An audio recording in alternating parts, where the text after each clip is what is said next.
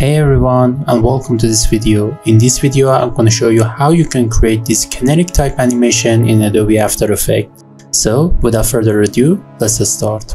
Alright, so here we are inside of Adobe After Effects and now let's begin. So I'm going to click on new composition to set up a composition and I'm going to call it the text basic and the and height is set on 9020 by 9020 the frame rate is set on 24 frames per second and of course the duration is on 10 seconds.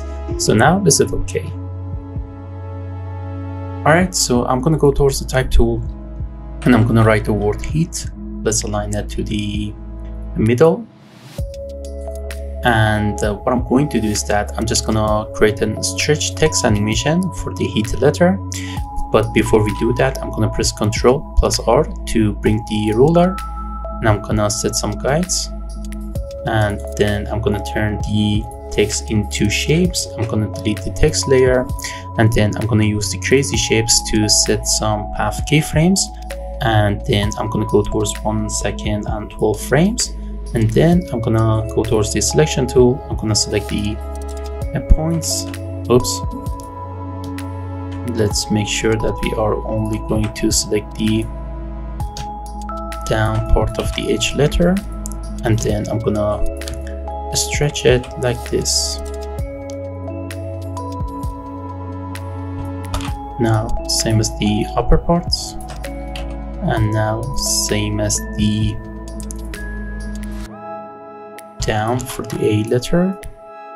However let's just adjust this tiny triangle to here and the upper one I'm gonna snap it to here and then on the T I'm gonna do something like this and the upper part I'm gonna do something like this. So we will have this animation and as you see it is too linear so I'm just gonna copy and paste the first set of keyframes to get a loop and I'm gonna set the easings on 85% so we will have an animation like this. Great! Now what I'm going to do is that I'm just going to pre-compose this text and I'm going to call it the text animation. And now it is time to add a warp effect to make these text even better. So to do that, what I'm going to do is that I'm just going to add a wave warp effect and I'm going to set the duration to zero and then I'm going to increase the wave width to number such as 250 so we will have something like this. When it stretches that is nice.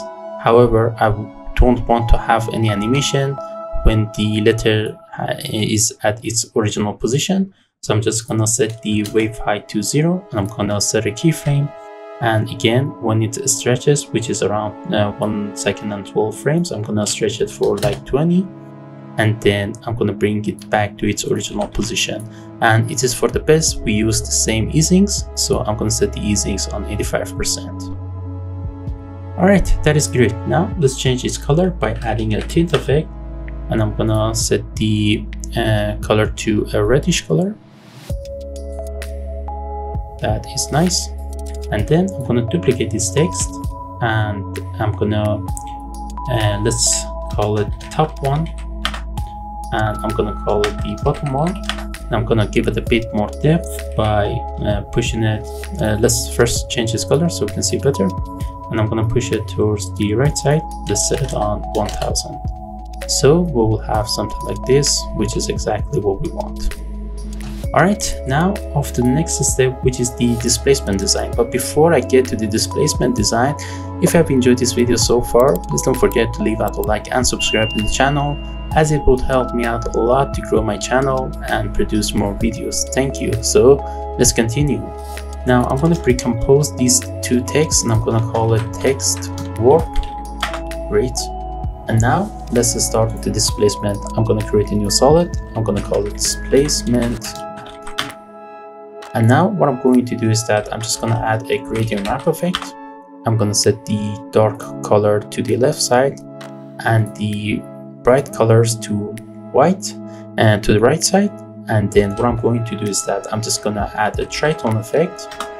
And then I'm gonna get the um, I'm gonna set the highlights to black and the midtones to white. However we need to sort of kind of combine these two colors together so we can add a uh, fastbox blur effect. And we can blur it for like um, 130 pixels. And then what I'm going to do is that I'm just gonna add the fractal noise effect. And I'm gonna change the fractal type to subscale. And I'm gonna change the noise type to spline. And then what we can do is that we can open the transform property and then we can turn off the uniform scaling. And we can adjust the scale. I'm gonna set the uh, scale width to 60 and we can increase it to like 150 however we need to reveal these three effects that we made so we can uh, set the mode on overlay. So that is great and let's also increase the contrast a bit. Nice. Now what I can do is that I can animate the evolution. So let's open the evolution which is in here. And on 3 seconds where our animation finishes I can rotate it for 2 entire rotation. So now we'll have this displacement. That is nice. Now let's add the time displacement effect. And then I can set the time displacement layer to displacement map. And then I can change the source to effects and mask. And then I'm going to set it on 0.4 and the time resolution to 250 now since the time time displacement effect is a bit heavy I'm just going to change the rendering to quarter so we can render faster and proceed faster with this video. Great let's watch it again. That is nice. Now I'm gonna um, recompose these two layers and I'm gonna call it text displacement. Now it is time to give it a bit more depth. So what I'm going to do is that I'm just gonna copy this uh, layer two more times. This is going to be our back. This is going to be our middle. And this is going to be our top. And let's unsolo the other two layers and let's start with the back layer.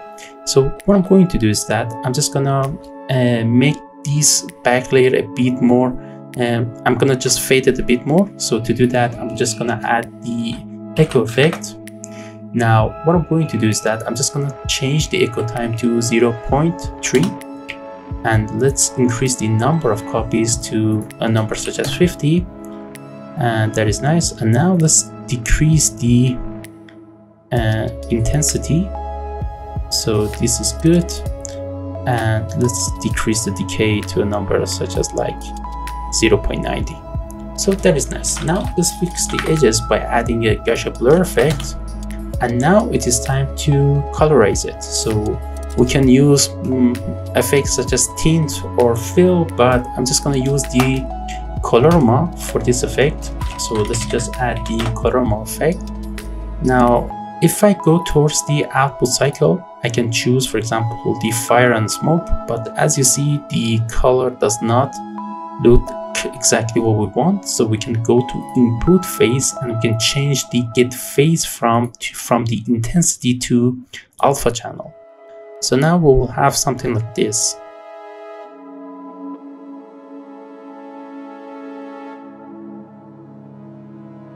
Okay, this is exactly not what we want, but let's just leave it for now. And I'm going to solo the middle layer. I'm going to exactly repeat the same steps with different values. So I'm just to add the echo effect this time. And I'm to change this um, this time the echo time to minus 0, 0, 0, 5, the number of echoes to 50, and the decay to, for example, let's just decrease it a bit and then I'm gonna copy and get the Gaussian blur and the colorama effect. However, this time I'm just gonna change the output cycle to fire.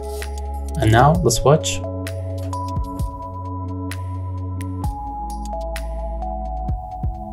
So now as you see, we are getting those fire edges that we want that represent the heat uh, letter. So that is good. And then I'm just gonna rebuild this original layer.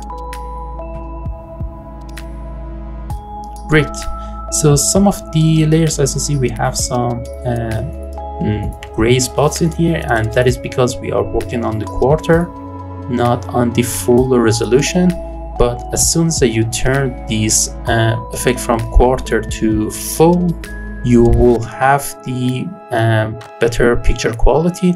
But i'm not gonna for example now change it because um, this is already too heavy and i'm just gonna proceed further and i'm gonna pre-compose it and i'm gonna call it the final text.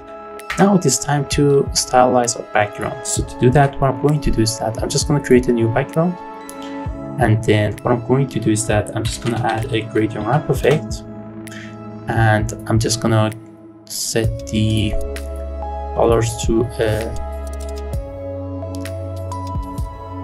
dark color like this.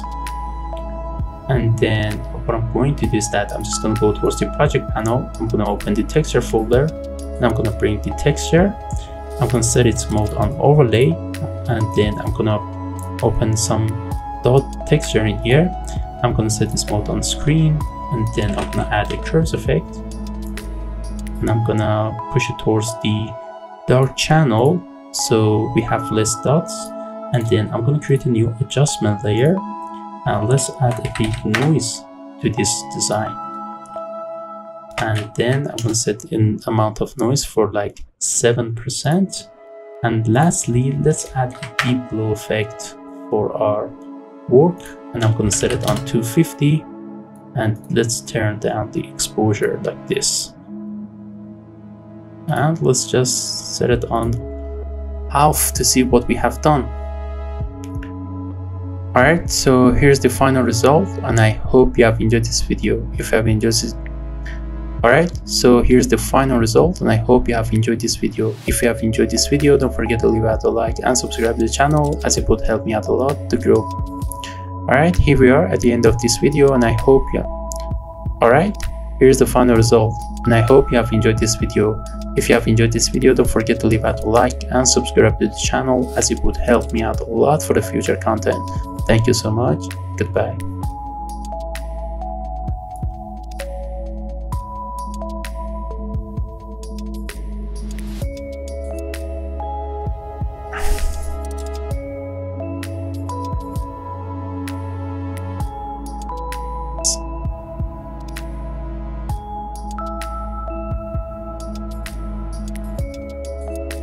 Okay, this is exactly not what we want, but let's just leave it for now.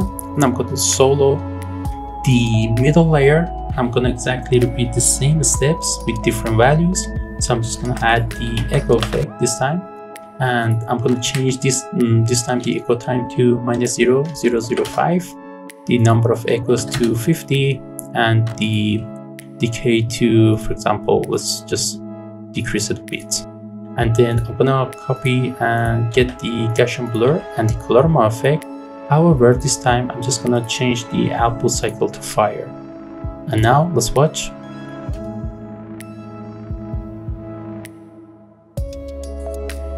So now as you see, we are getting those fire edges that we want that represent the heat uh, letter. So that is good. And then I'm just gonna rebuild this original layer. Great.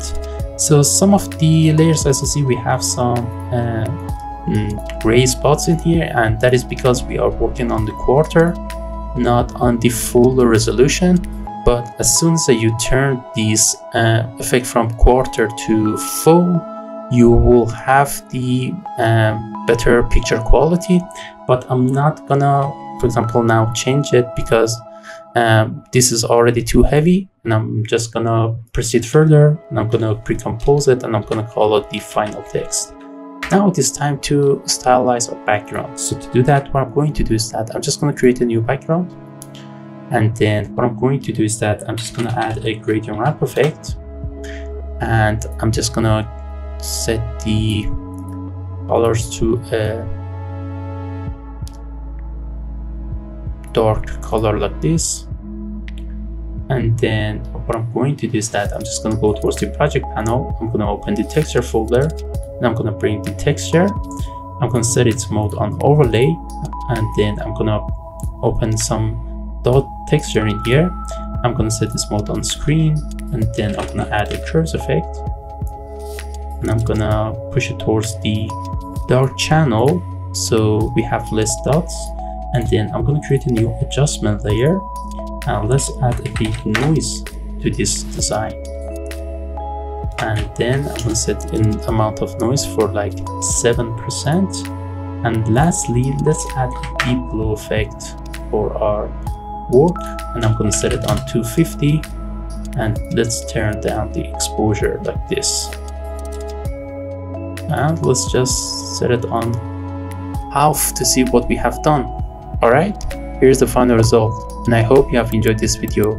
If you have enjoyed this video don't forget to leave out a like and subscribe to the channel as it would help me out a lot for the future content. Thank you so much. Goodbye